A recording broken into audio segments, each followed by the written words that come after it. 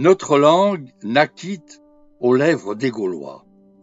Ses mots sont caressants, ses règles sont sévères, et, faite pour chanter les gloires d'autrefois, elle a puisé son souffle au refrain des trouvères. Elle a le charme exquis du timbre des latins, le séduisant brio du parler des Hélènes, le chaud rayonnement des émaux florentins, le diaphane et frais poli des porcelaines. Elle a les sons moelleux du luth éolien, le doux babil du vent dans les blés et les seigles, la clarté de l'azur, l'éclair olympien, les soupirs du ramier, l'envergure des aigles. Elle chante partout pour louer Jéhovah, et, dissipant la nuit où l'erreur se dérobe, elle est la messagère immortelle qui va porter de la lumière aux limites du globe.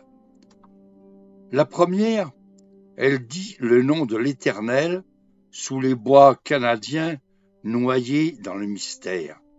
La première, elle fit monter vers notre ciel les hymnes de l'amour, l'élan de la prière.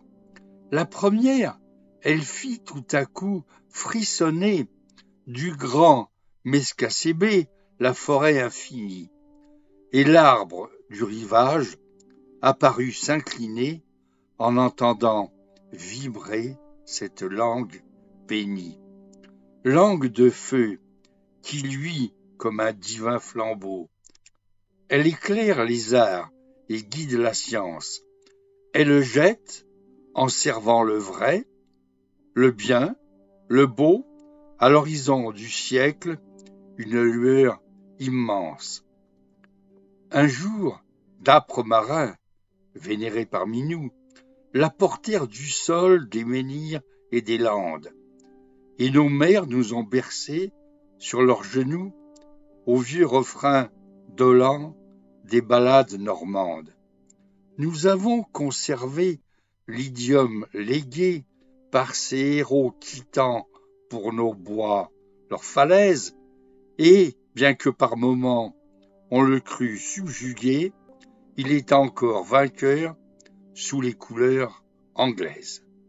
Et nul n'osera plus désormais opprimer ce langage aujourd'hui si ferme et si vivace.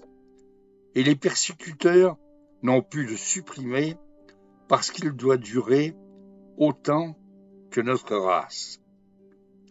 Essayer d'arrêter son élan, c'est vouloir empêcher les bourgeons et les roses d'éclore.